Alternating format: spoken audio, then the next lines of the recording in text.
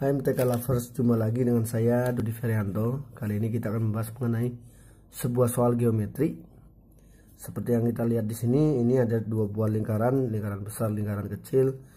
Lalu ada segi 4 A, B, C, D ya. Di sini AC ini adalah garis diagonal dari ABCD. Lalu di sini dikatakan juga bahwa KLMN adalah titik-titik singgung lingkaran ya KLMN ya di mana KL ini adalah titik singgung antara lingkaran besar dengan garis AB dan BC sedangkan titik MN ini adalah garis, titik singgung dari lingkaran kecil dengan garis CD dan AD ya.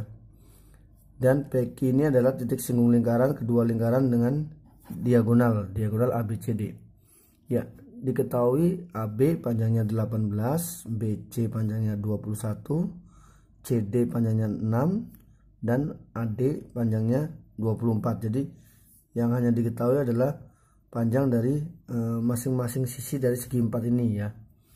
Ya, yang ditanya adalah panjang PQ. Ya, diagonalnya sama sekali tidak diketahui dan juga tidak diketahui bahwa apakah AB dan CD ini sejajar atau tidak ya. Jadi kita tidak bisa menggunakan uh, berasumsi bahwa ini sejajar ya. Ya. Sekarang mari kita lihat uh, kita mau mencari hubungan antara peki dengan panjang sisi-sisi segi empat ini ya. Ya. Mari kita lihat di sini. Peki di sini kalau kita bisa lihat peki ini sama dengan bisa kita tulis aki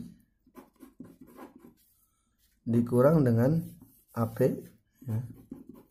kalau kita lihat dari sini ya PQ sama dengan AKI dikurang AP ya. Atau bisa juga PQ itu sama dengan PC ya. PC dikurang dengan QC ya. Sehingga kalau kita jumlahkan dua persamaan ini kita peroleh 2 PQ sama dengan AQ ditambah PC dikurang AP ditambah QC ya. Kalau sehingga PQ nya sama dengan AQ ditambah PC dikurang AP ditambah QC dibagi 2 ya. Di sini Aki ditambah PC ya. Lalu dikurang dengan AP ditambah QC semuanya masih ada pada garis diagonal ini ya. Jadi masih belum sama sekali belum bisa diketahui. Ya tapi sekarang kita lihat bahwa di sini Aki ini adalah kalau kita lihat A ini adalah titik luar dari lingkaran kecil ini panjang Aki karena kini adalah titik singgung ya titik singgung lingkaran itu pasti akan sama dengan panjang AN ya, sekali lagi panjang aki akan sama dengan panjang AN karena N juga adalah titik singgung lingkaran ya di mana yang ditarik dari uh, titik singgung lingkaran dengan garis yang ditarik dengan dengan garis yang ditarik dari titik A. Jadi panjang aki akan sama dengan panjang AN jadi ini saya bisa ganti dengan AN jadi karena aki itu panjangnya sama dengan AN ya. Sekarang PC kalau kita lihat PC PC ini titik P adalah titik singgung antara lingkaran besar dengan garis yang ditarik dari titik C. Maka panjangnya akan sama dengan garis yang ditarik dari titik C ke B ya yang menyinggung di titik L. Jadi PC ini panjangnya sama dengan CL PC panjangnya sama dengan CL jadi PC panjangnya sama dengan uh, eh, CL ya. Sehingga saya ubah PC di sini dengan CL dikurangi. Sekarang kita lihat AP AP ini adalah P di sini adalah titik singgung ya. Titik singgung antara lingkaran besar dengan garis AC yang ditarik dari A ya.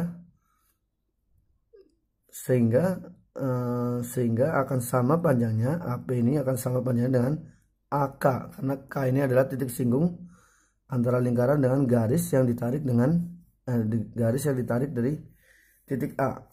Jadi AP panjangnya sama dengan AK AP panjangnya sama dengan AK sehingga yang di sini saya bisa ganti dengan AK ditambah Kice, kice ini adalah ki adalah titik singgung ya dengan titik singgung lingkaran kecil dengan garis yang ditarik dari titik C itu panjangnya akan sama CM. Kice panjangnya sama dengan CM. Kice sama dengan CM. Sehingga kice di sini saya ganti dengan CM per 2. Nah, sekarang kita lihat. AN sudah AN ditambah CL sudah ada di uh, sisi segi 4 ya. Dikurang AK ditambah CM ya. Tapi masih belum bisa kita ketahui nilainya karena ini masih belum mutu ya di sini. Ya sekarang kita coba kembangkan lagi karena yang diketahui adalah keutuhan dari panjang AB, panjang BC, panjang CD dan AD jadi AD diketahui tapi di sini eh, yang baru diketahui adalah AN ya bukan AD ya. Ya mari kita sedikit gunakan manipulasi. AN agar untuk jadi A, jadi N, AD ya. Karena kan yang diketahui AD kan AN untuk jadi AD yaitu harus ditambah ND ya tapi kalau ditambah ND kan berarti merubah persamaan ini ya nanti ya Berarti agar tidak merubah ND karena kita tahu bahwa ND panjangnya sama dengan DM ya. Karena ND panjangnya sama dengan DM ya. Maka saya kurangi dengan DM. Ya, jadi sudah saya tambah ND AN saya tambah ND tapi saya kurangi lagi dengan DN. DN itu ya panjangnya sama dengan D DM. Lalu ditambah CL CL itu ini ya CL ini untuk jadi BC CL saya tambahkan dengan LB tapi biar tidak merubah persamaan ini saya harus kurangi lagi dengan LB tapi karena LB panjangnya sama dengan BK ya di sini saya tulis LB panjangnya sama dengan BK ya, jadi setelah saya tambah LB saya kurangi dengan BK ya. Dikurangi sekarang. AK AK ini biar menjadi AB ya. Saya tambahkan sekalian dengan KB atau BK ya. Saya tambahkan dengan BK ya sekali lagi karena BK itu BK ini panjangnya sama dengan LB ya sama dengan LB ya. Jadi saya kurangi lagi dengan LB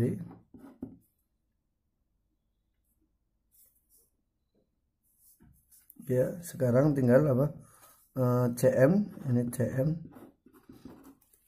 CM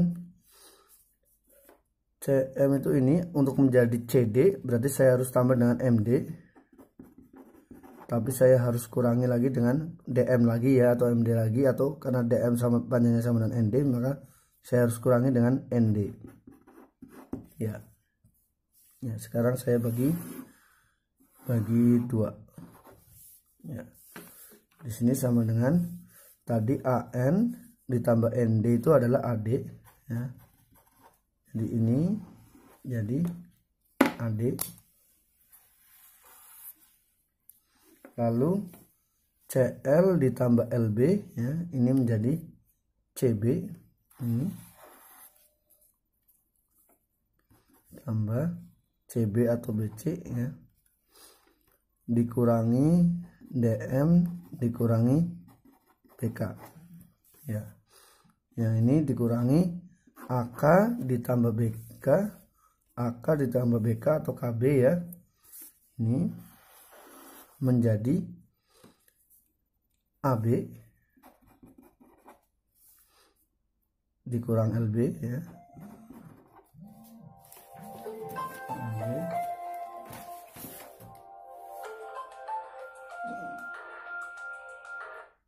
Lalu sekarang eh, CM ditambah MD, CM ditambah MD ini sama dengan CD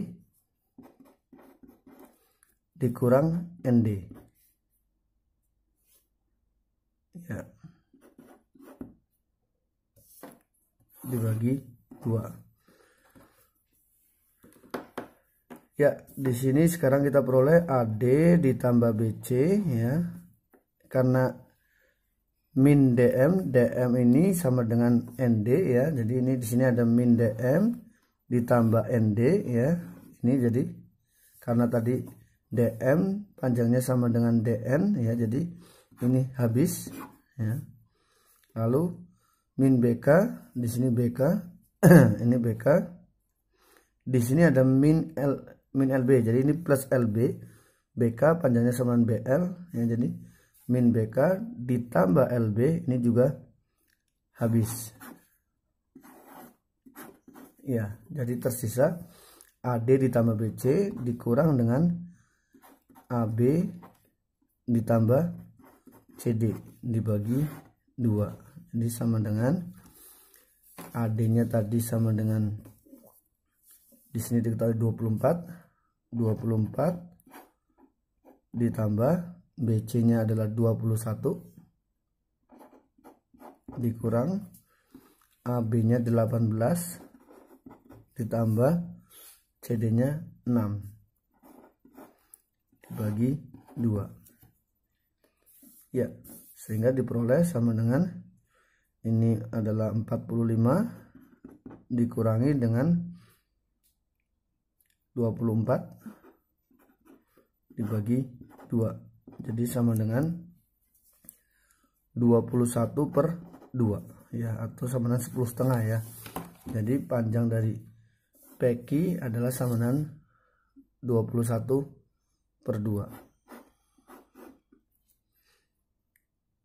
ya Demikian pembahasan kali ini. Jangan lupa untuk like, share, dan subscribe channel ini karena banyak sekali materi-materi penting baik itu materi sekolah maupun materi olimpiade yang akan kita bahas di channel ini. Ya, sampai jumpa di pembahasan-pembahasan yang lainnya.